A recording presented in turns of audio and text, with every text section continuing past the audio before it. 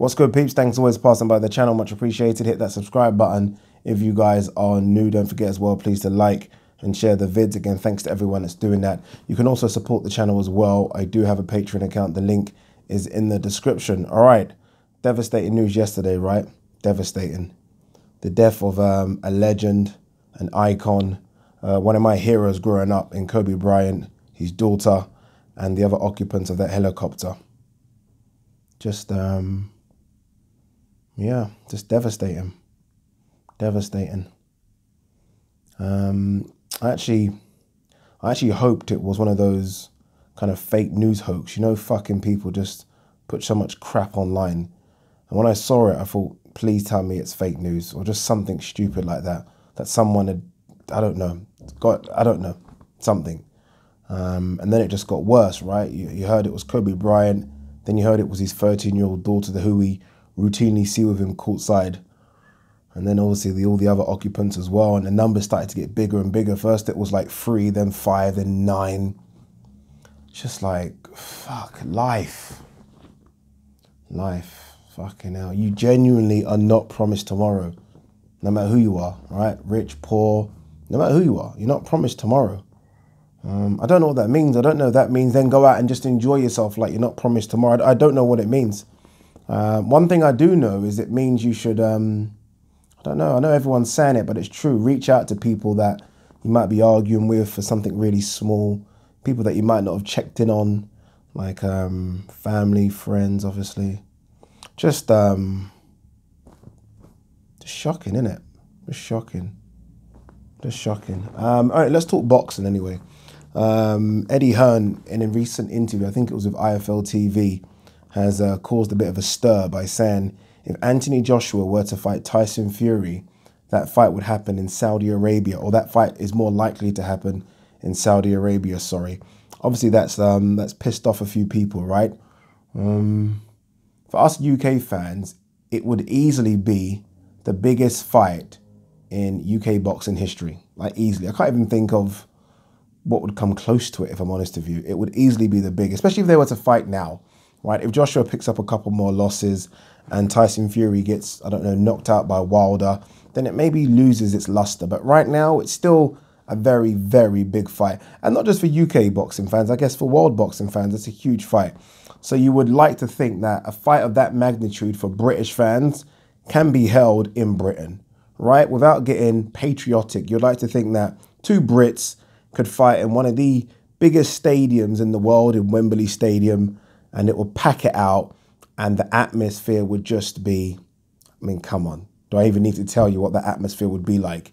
It would be incredible. The problem is, Saudi Arabia right now are offering bucket loads of money to stage events. It's not just boxing. I mean, there's numerous events that go on in and around that region right now, and they're paying for the privilege of having those events there.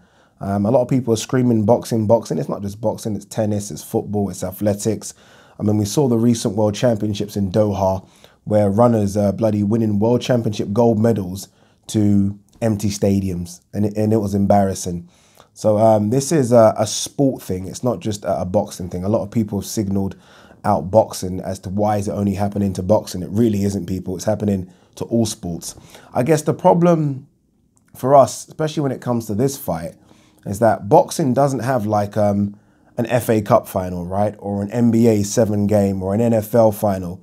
Um, you can't imagine, who knows, but you can't imagine the FA Cup ever going to Qatar. I mean, God forbid, right? But you can't imagine it. You can't imagine, although the NBA have some games outside of America, you can't imagine just accepting that the NBA finals, the game, the final game, if it was, imagine it was a 3 3 and it was going to a seventh game, that game happening in Saudi Arabia. cannot imagine, and America just would not accept the NFL final going to Saudi Arabia. Boxing's slightly different, obviously, because it doesn't build up like that. But that is our Super Bowl. Joshua versus Tyson Fury is our version of the Super Bowl. And it looks like our version of the Super Bowl could go to Saudi Arabia.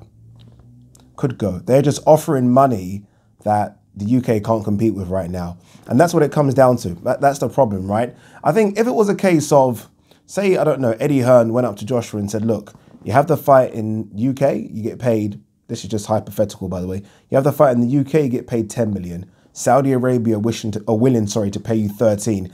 Joshua would probably have the fight in the UK, same as Fury.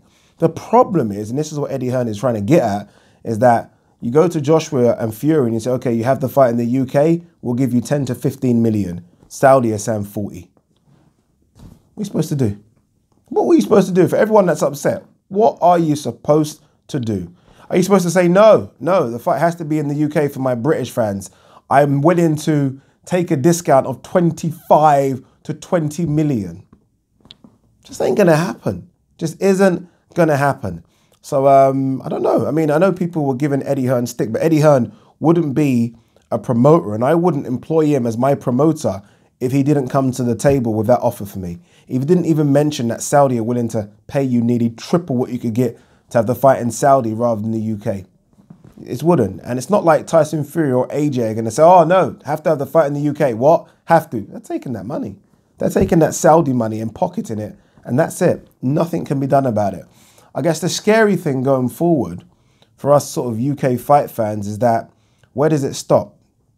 Where does it stop? Is it a case of, I don't know, they look at most top fights and say, yeah, we'll take that. Yeah, oh, what? Chisora versus, yeah, we'll take that, please, if you don't mind. Dillian Whyte versus, yeah, bit of that for me. Where, where, does it stop? Do you know what I mean? Obviously, that's an exaggeration. I'm, I'm sure they won't take every fight, every top fight anyway, but who knows, right? They might start literally start taking things. They might just start taking it because they can. Um, I was there for the Ruiz Joshua fight, and I will say this though, um, and I say this because of um, the fans and the noise being made at athletics and tennis games, which is pretty much non-existent. The atmosphere for Joshua Reed was pretty damn good. The Brits obviously flew out. It wasn't a lot. I'd say of the 15,000, it was a 15,000 capacity. I'd say about 5,000 were Brits. The rest was of locals. But I say locals, it was of Brits that are now based in Saudi as well. So, I mean, you do get a good atmosphere, but obviously you're not going to get anything like Wembley or the O2 Arena. But um, again, what can what can Eddie do? What can Eddie do? Right? I mean, again, this money that they're offering is ridiculous. And I've always said fighters need to get paid. Fighters need to get paid. They're getting paid now, and we're moaning. You can't have it both ways, right? We're screaming that they should get paid, screaming, screaming, screaming. Um, they're getting paid, and we're moaning that, well, the fight's not in the UK.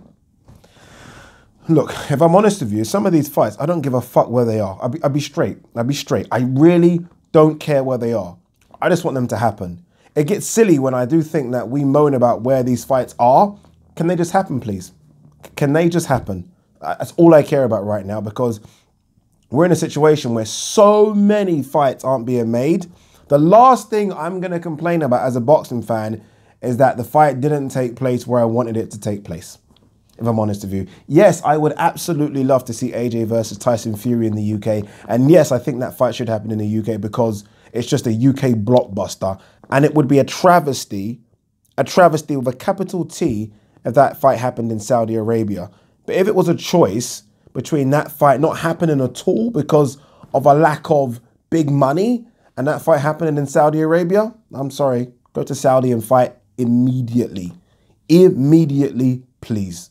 Anyway, what do you guys think about this? I know people are upset, but what do you think about it? And can you understand the logic of them guys just saying, you know, we want the most money, Saudi are paying it. What can we do?